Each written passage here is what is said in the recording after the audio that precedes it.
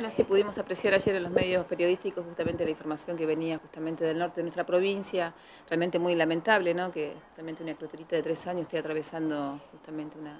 un hecho ¿no? de delito sexual hacia, hacia nuestros niños, así que bueno, realmente bueno, espero que la justicia de, o el juez quien esté allá en Caletaría pueda disponer en lo inmediato ¿no? la detención y, y después empezar a buscar las pruebas y todo lo que se hace, ¿no? Porque realmente lo real es todo esto, que bueno, el, hecho de ayer seguramente representa muchísimos, a muchísimos niños que hoy están atravesando una situación de abuso sexual dentro de su casa o en otros lugares, ¿no es cierto? Entonces está bueno que, ustedes sigan acompañando desde su lugar y bueno, nosotros como comunidad eh, empezar a tomar más conciencia, sensibilizarnos con lo que está pasando y que esto sensibilice también a, las instituciones que tienen que abordar, que tienen que contener y hacer el seguimiento a estos niños que, lamentablemente les, ocurre tener que pasar en una lamentable situación de violación, de abuso sexual. Lorena, ¿qué se sabe del abusador de Facebook que ocurrió aquí en la ciudad de Río Gallegos? Eh, tenemos entendido que él sigue, sigue en libertad, digamos, circulando por, la, por nuestra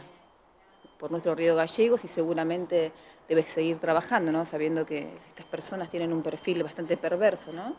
Eh, decirle enfermo es, es como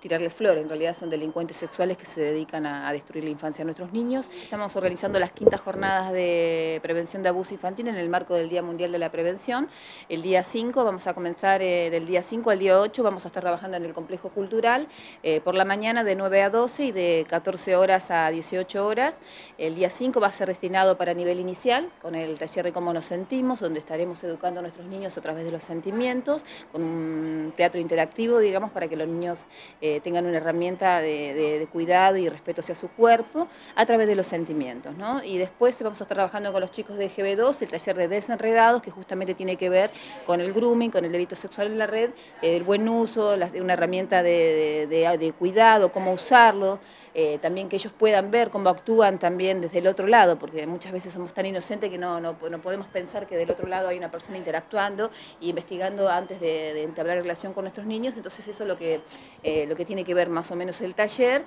y eh, brindando también, bueno, obviamente la, guía de recursos a donde recurrir si están recibiendo maltrato o abuso, digamos, tenemos las oficinas de protección, tenemos la defenso, los defensores, tenemos diferentes instituciones que son responsables de intervenir ante la ante la vulneración de derechos de nuestros niños, digamos. Y por último, eh, GB3 y polimodal, el taller de Clarita y la indiferencia, y después se abre un debate, digamos, con los jóvenes para que podamos eh, conversar y escucharlos eh, con respecto a lo que ellos piensan de esta temática y, bueno, aprendemos muchísimo con ellos. Y el último día va a ser destinado justamente a todos los adultos, están invitados también a todos los, medios que puedan participar de estas jornadas de sensibilización que vamos a estar trabajando